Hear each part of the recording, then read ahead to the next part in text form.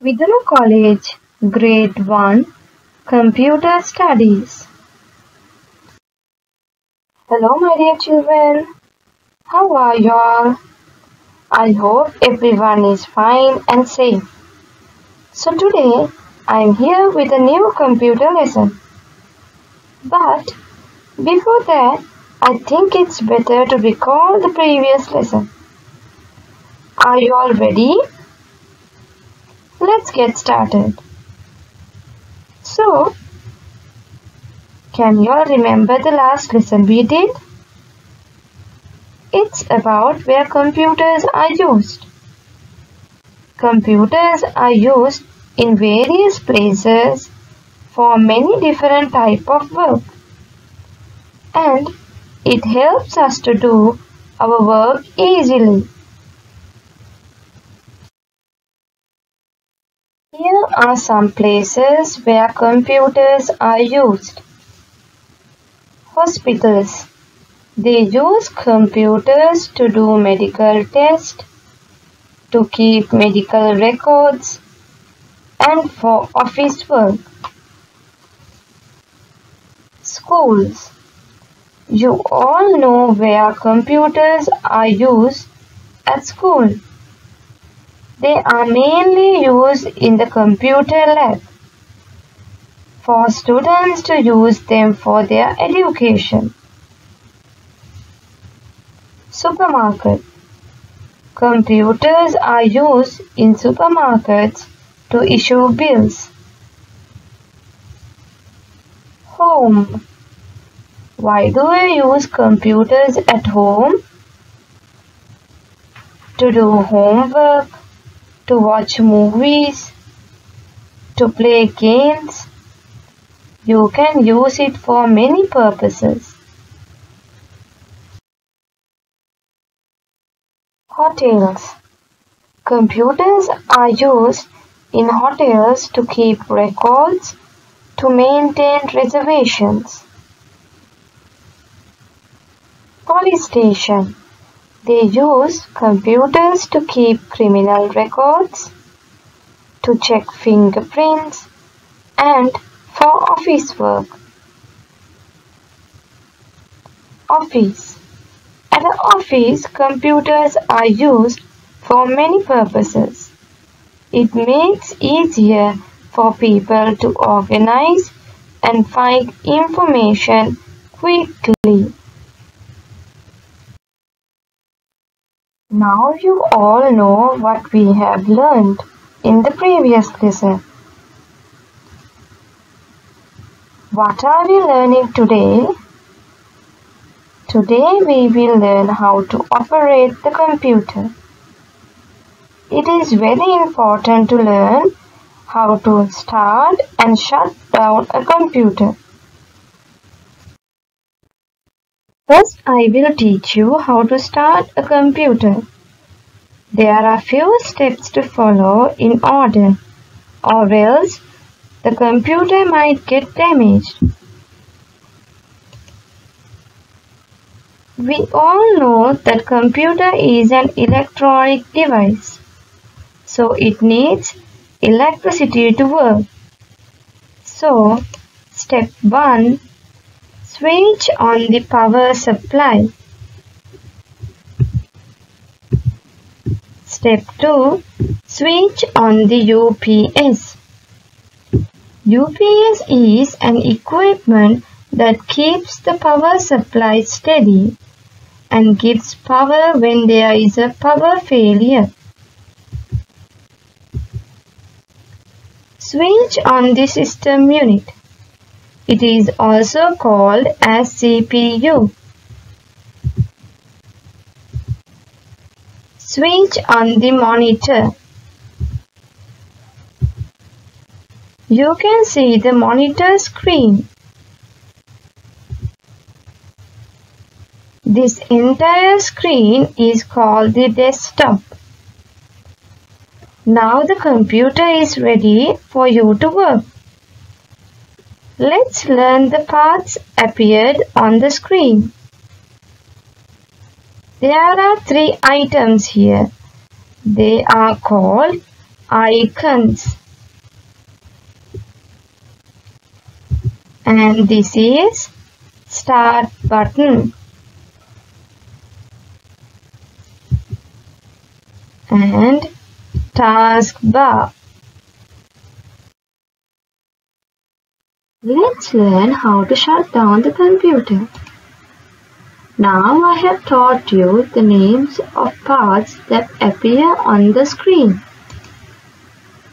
First step to shut down the computer is to click on the start button. A menu will appear as shown here.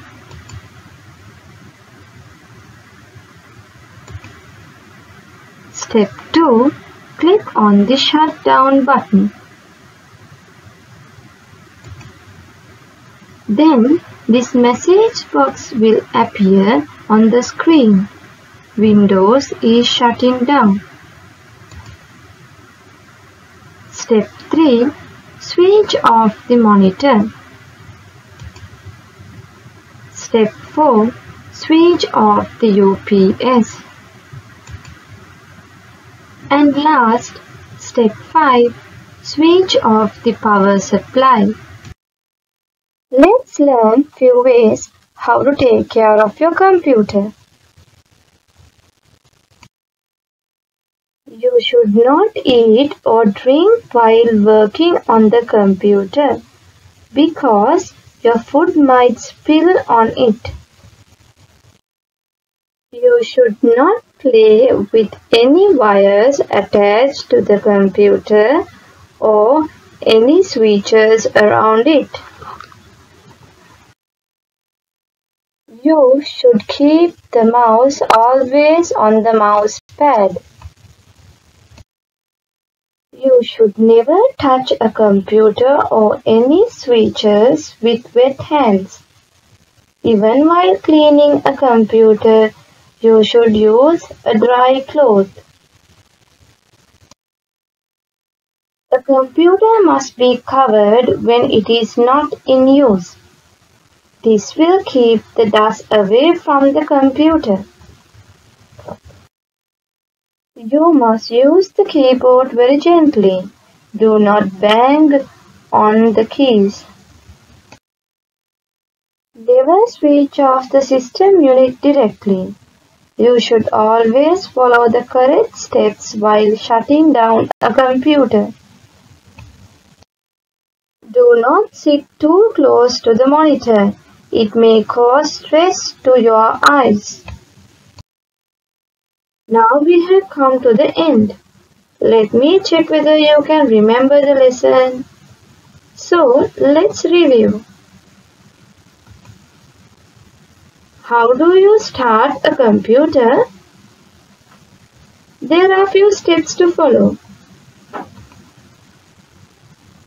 Step 1 Switch on the power supply. Step 2. Switch on the UPS. Step 3. Switch on the CPU. Step 4. Switch on the monitor. How do you shut down a computer? Again, there are few steps to follow. Step 1. Click on Start button. Step 2. Click on Shutdown button. Step 3. Switch off the monitor.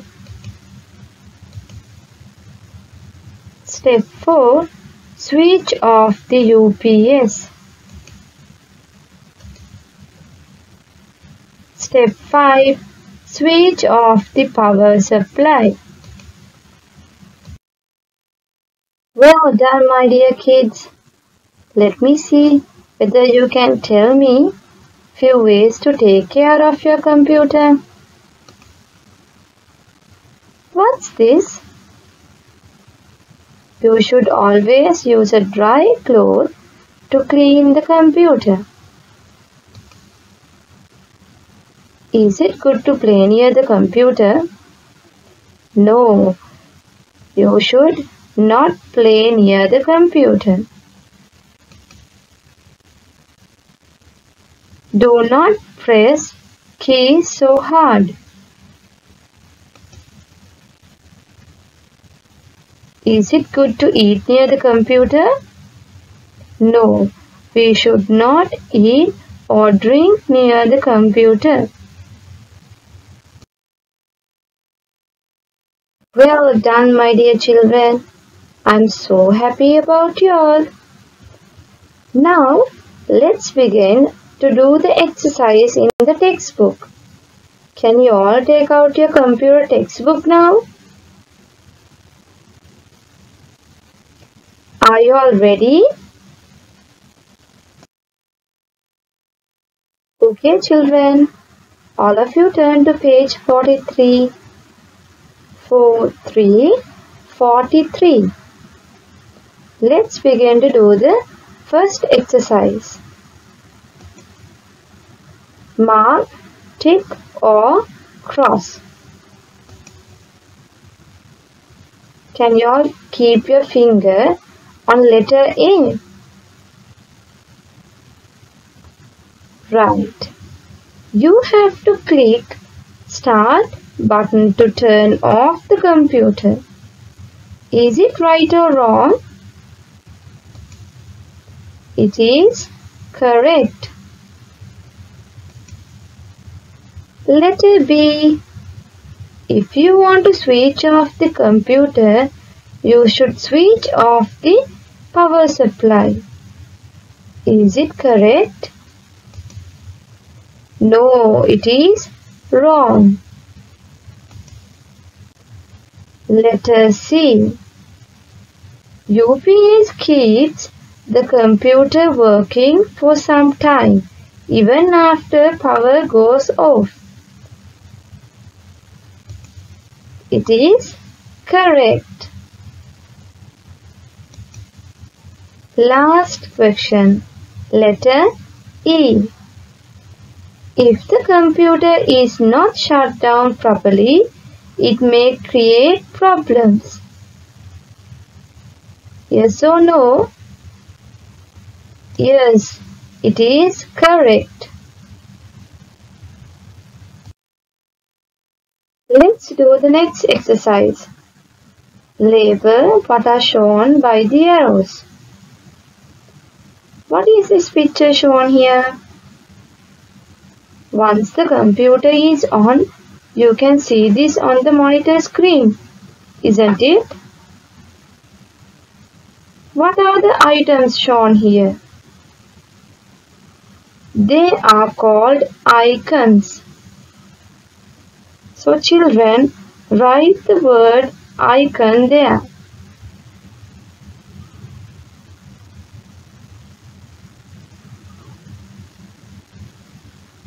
You can see the start button on the bottom left corner.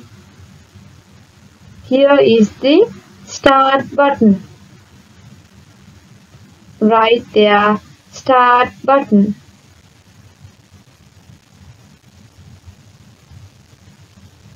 What is this entire screen called?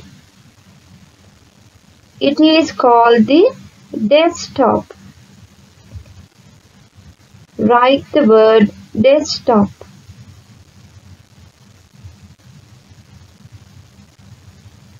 Can you see the line below?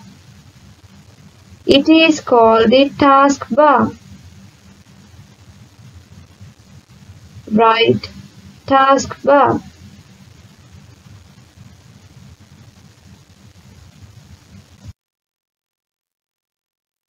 Children, now turn to the next page. Page 44. 44, 44. Let's do the third exercise. Match the following. Match the following. I will read letter A. Clean the computer system with a dry cloth. Can you see a picture cleaning the computer with a dry cloth? Yes. Match it. Letter B. Keep the mouse on the mouse pad. Where can you see a mouse on the mouse pad? Here, the last picture. Let us see. Do not play with the wires. Can you see there are some wires? Letter D. Cover the computer when not in use. The first picture. Letter E. Do not press the keys very hard. The second picture.